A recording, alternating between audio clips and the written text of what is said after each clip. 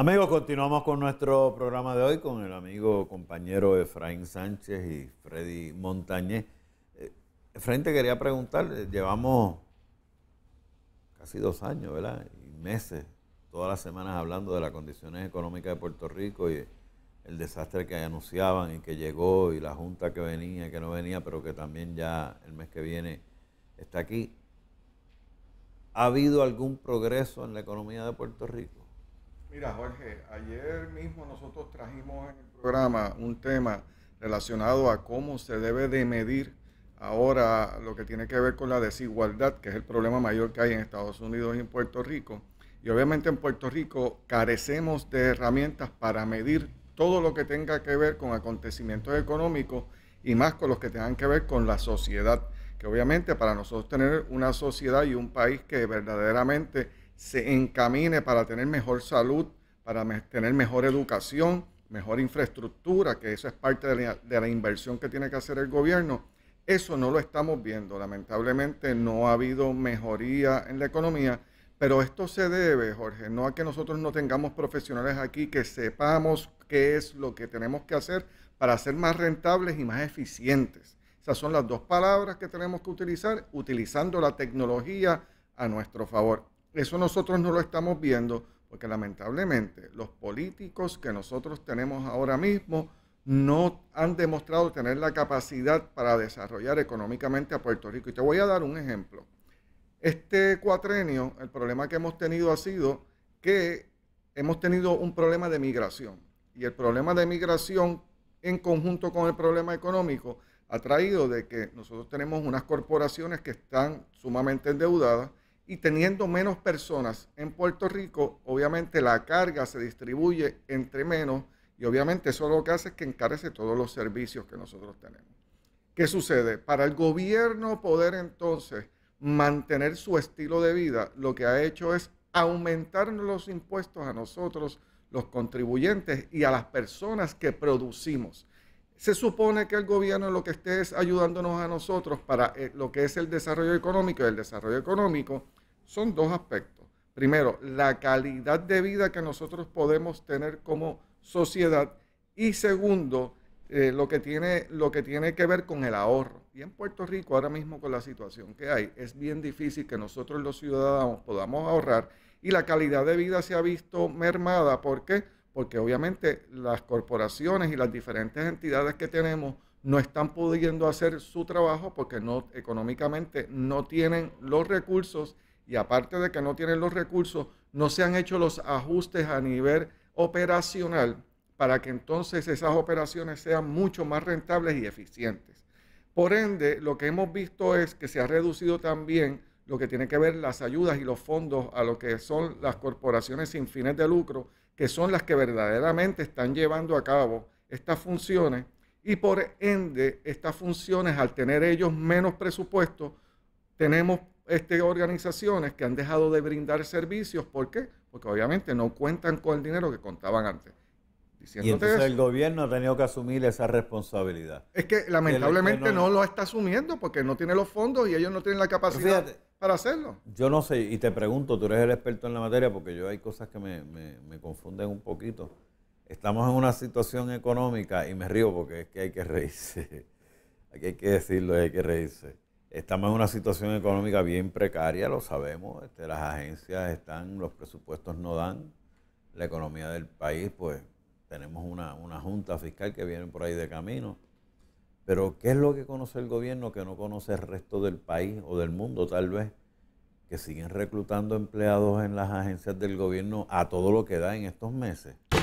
Es que yo es lamentable tener lo que decir, Jorge, y esto no es nivel de conocimiento. Obviamente tú lo que tratas es de atornillar a todas las personas que tú entiendas que pertenecen a tu mismo partido político para entonces poder ganar los votos de la familia y de ellos mismos, para entonces poder renovar o volver otra vez a ganar las elecciones y seguir teniendo el poder y perpetuarte dentro del poder para seguir entonces repartiéndole ¿verdad? los beneficios a tus amigos o a las personas más allegadas a ti.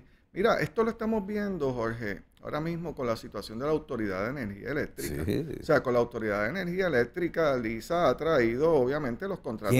Lisa Donahue. o vamos a hablar de Alice Partners, ¿verdad? Que es la corporación para no hablar 40 millones de dólares ya lleva en contrato.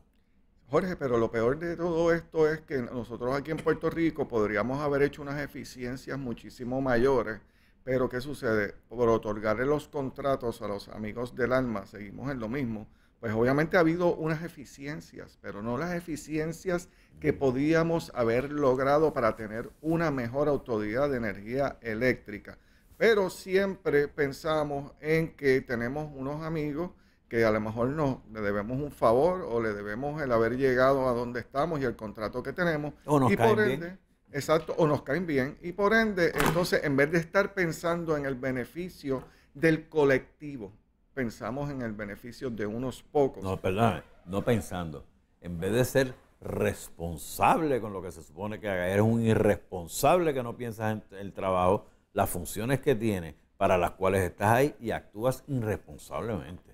Esa es la verdad. Definitivo. Para decirlo de otra manera es engañarnos nosotros. No, no le pongamos poesía. Es un acto totalmente irresponsable. Entonces vienen y te suben la luz a ti. Te la suben a ti, me la suben a mí, a todos los que nos están viendo.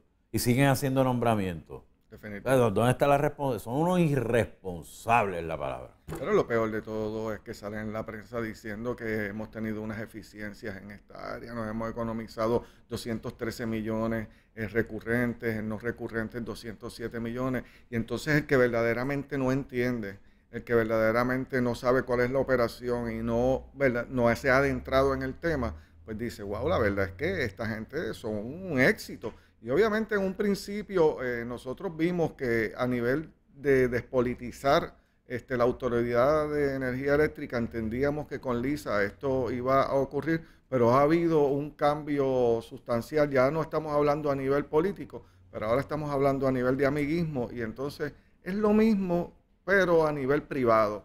Y entendemos que por eso es que estamos teniendo la desigualdad que tenemos y mientras sigamos pensando desde esa perspectiva, no vamos a ver que eh, el maná le llegue a todo el pueblo, sino que se va a seguir concentrando en unos pocos y por ende tenemos los problemas que tenemos a nivel social.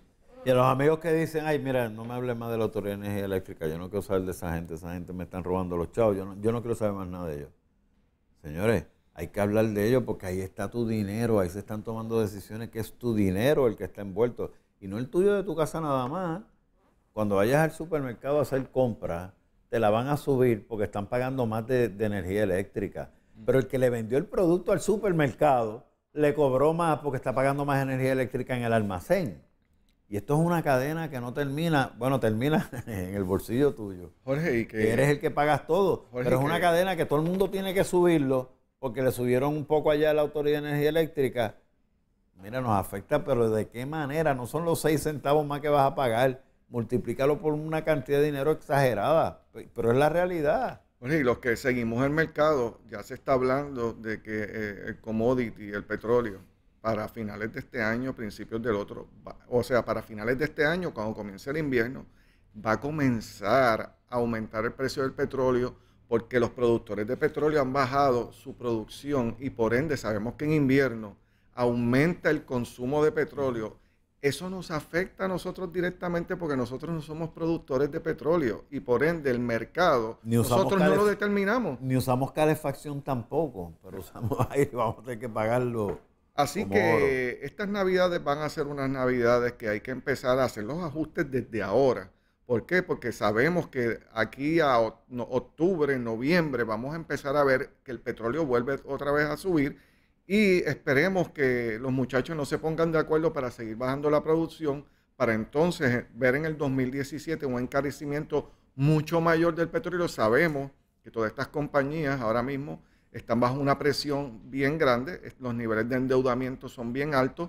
¿Por qué? Porque cogieron dinero prestado para aumentar su producción basado en unos precios estipulados en aquel momento en el mercado. Esos precios bajaron y por ende esas proyecciones no se cumplieron y muchas de ellas han sido absorbidas, muchas de estas compañías petroleras a nivel mundial han sido absorbidas por las compañías más grandes. ¿Por qué? Porque no han tenido la capacidad económica para aguantar este, este cambio que ha habido en el mercado. Bueno, la única esperanza para el invierno es que Estados Unidos abra nuevamente su reserva de petróleo para mantener unos niveles para no afectar la economía y el desarrollo de la economía en los Estados Unidos. Creo que ha sucedido. Estados Unidos tiene la llave abierta, el grifo abierto, pero a todo tren.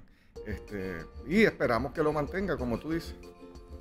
Tienen que ver al que nos afecte la, la, la economía. Tengo un mensaje aquí que dice, bendiciones, los felicito. Esta es buena televisión. Pablo Colón de San Lorenzo, muchas gracias don Pablo, por su comentario. Vamos a una pausa y cuando regresemos tengo a Freddy con las propiedades, pero tengo una pregunta que te la voy a dejar aquí en el aire, Efraín. Eh, hablamos de gobierno, eh, hablamos de agencias que tienen que hacer los procedimientos correctos y yo como ciudadano en mi casa, ¿qué hago? La contesta cuando regresemos. Regresemos en breve, amigos.